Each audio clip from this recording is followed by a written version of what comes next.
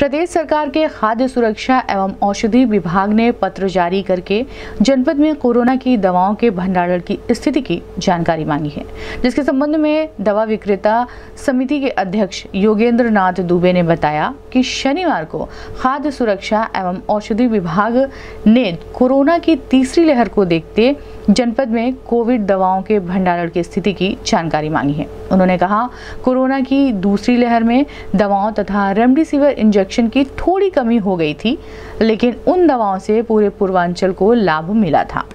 लेकिन अब जनपद में कोविड दवाओं की उपलब्धता भरपूर है तथा जो पिछली दवाएँ हैं, वह अभी बिकी नहीं है।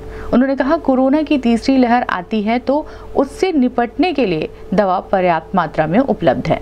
इस संबंध में गोरखपुर न्यूज़ से बात करते हुए समिति के अध्यक्ष योगेंद्र नाथ दुबे ने कहा। मेरा नाम है योगेंद्र नाथ दुबे, अध्यक्ष दवा विक्रेता समिति गोरखपुर और प्रदेश संस्था ओसीडी, यूपी का मैं प्रदेश प्रवक्ता और पीआरओ हूँ।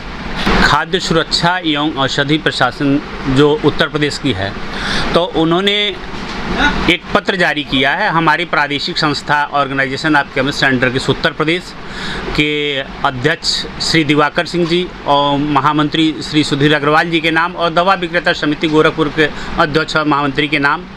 और ये जानना चाहती है कि मतलब कोरोना से संबंधित जो दवाएँ हैं, उनकी क्या स्थिति है, उनकी भंडारण की क्या स्थिति है।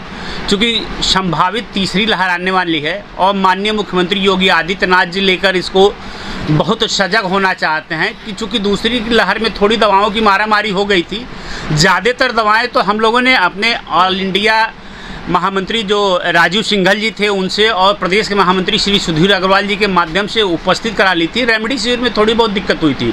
और लेकिन जितनी दवाएँ हम लोगों ने उपलब्ध कराई थी, पूरे पूर्वांचल को सप्लाई हुई थी और उसका लाभ पूरे पूर्वांचल को मिला था। लेकिन फिर भी सरकार अब की इतनी बार तैयारी कर लेनी चाहती है कि कोई परेशानी ना हो। इसके लिए कि एक एडवाइजरी जारी की गई है कि ज़िले में क्या दवाएँ हैं, उसको रेमडी शिविर है टाउसलेजुमैप है, आइवरमेक्टिन है और एम्पोटेरिसिन बी है पोसोकोनाजाल है। इस टाइप की जितनी भी दवाएँ जो कोरोना से रिलेटेड हैं उनकी जानकारी मांगी गई है उनके भंडारण की जानकारी मांगी गई है जिससे दवाओं की उपलब्धता भरपूर रहे और सरकार उसकी तैयारी कर सके। और हमारा संगठन भी प्रादेशिक संगठन और हमारे ज़िले का संगठन इन सब चीज़ों को लेकर एकदम चैतन्य है कि अगर कोरोना आती है तो पिछला जो दो अनुभव देखे हैं उस हिसाब से हमारी तैयारी कंपनियों से सी से फार्मा कंपनियों से रहे कि दवाओं की उपलब्धता भरपूर रहे और दवाओं के आधार आ, आ, के अभाव में किसी को कोई परेशानी ना आने पाए। इस समय जनपद में क्या स्थिति है दवाओं की? जनपद में दवाओं की स्थिति, चूँकि कोरोना की स्थिति तो बहुत कम है, और जो पिछली दवाएँ आई हैं, उनकी स्थिति अभी यह है कि मार्केट में तमाम दवाएँ पड़ी हुई हैं तो अभी भी दवाओं का कोई कोरोना से रिलेटेड अगर कोई दवाई चाहिए तो उसका अभाव नहीं है।